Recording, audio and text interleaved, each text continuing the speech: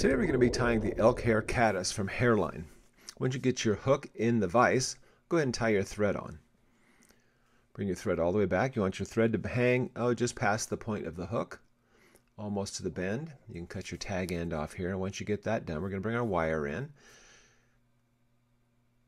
We're going to add that to the top of the hook. Once that's in place, get your feather that's been prepared. The barbules are pinched off the end so you have a little um, the middle section of the feather ready to be tied on right there. You want to tie that back just pat almost to the bend and now we're going to add our dubbing.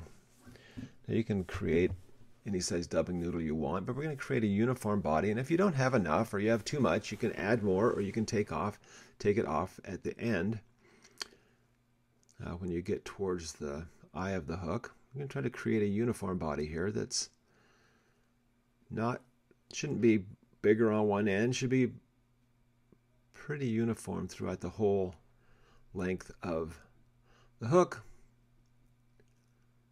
To get it where you want it, about an eye length back. All right, pause here and talk about the question you decided on. Remember to be attentive as you listen and honest as you answer. Take your time and then continue when you're finished you're going to then you're going to wrap your feather around. Now these are open spirals. They're not close, but you want them close enough where it creates a nice puffy looking fly. Once you get to the front, then you're going to switch places with the thread and the feather, and you're going to wrap the feather down. If you don't know how to do that, go ahead and look at my how-to video. Come in, and you notice that when I clip the feather, I use my hand to guard the thread, so I don't want that thread to be cut.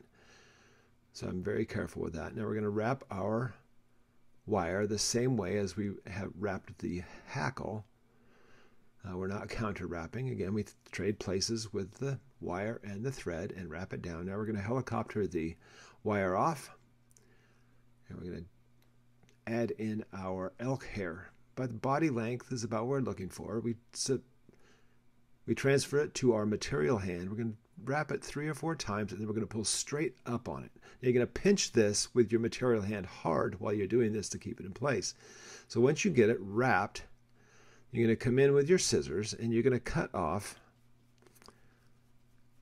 secure it down, sorry. Once you get this where you want it, you're going to come in with your scissors and you're going to cut it off just above the eye at an angle, kind of making a little head on it right there. We're going to wrap it a few more times and we're going to come in with our whip finish tool or our half hitch tool, whichever one you're comfortable with, and we're going to tie it off. Once we tie that off, then you're going to clean it up with your scissors. You're going to cut this off and clean it up, and then you're going to add some head cement, which I'm not doing here, but you add your head cement, and there we have an elk hair caddis. Thanks for watching.